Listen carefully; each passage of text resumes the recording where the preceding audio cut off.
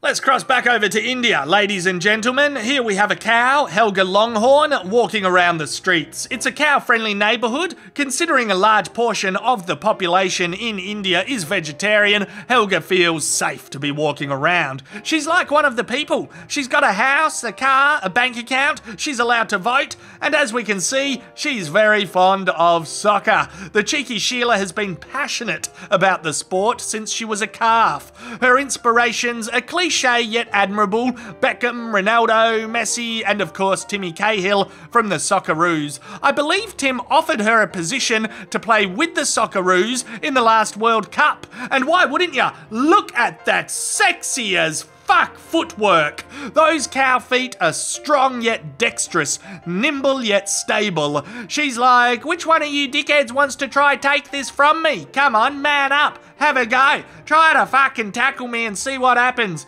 Anyway, as I said, Tim wanted her to join the Socceroos. Unfortunately, she couldn't make it to Russia. She had to decline the opportunity due to cow based responsibilities. It's the saddest, almost famous story in sports. Oh, look at this dodgy wanker! He tried to sneak up on Helga from behind. She's too aware though. She has eyes in the back of her head. These fellas are like seagulls trying to steal your and chips, lurking, circling. She yells, fuck off! And another shit cunt has a go at her. He fails miserably and has to jog on like a little bitch. Helga scoots away, putting some space between her and the opponents. I'm not criticising her, but I would like to see a shot on goal soon. Oh, look out, the vultures are back. And there's interference on the field. It's Vitali's girlfriend. Oh no, it's a bloke going to pick the kids up from school. Have a look at this smug face. These fellas truly think they can defeat Helga. She is World Cup material and ah, oh, they got it.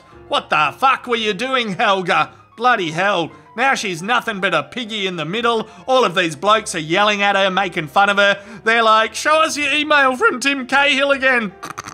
Obviously, it was a fake email. These guys tricked Helga. I hate getting tricked by Indian scammers. It's happened to me half a dozen times. This one time in New Delhi, a guy in a rickshaw said he'd take me to the Red Fort. I never saw the Red Fort. I spent half a day in his uncle's retail shop where I bought a cashmere scarf and a big fuck off ancient knife. Of course, the knife got confiscated by customs. I was questioned and stripped naked. Anyway, this story is not about me. It's about Helga and the bastards that stole her soccer ball. Football. Nah, soccer ball.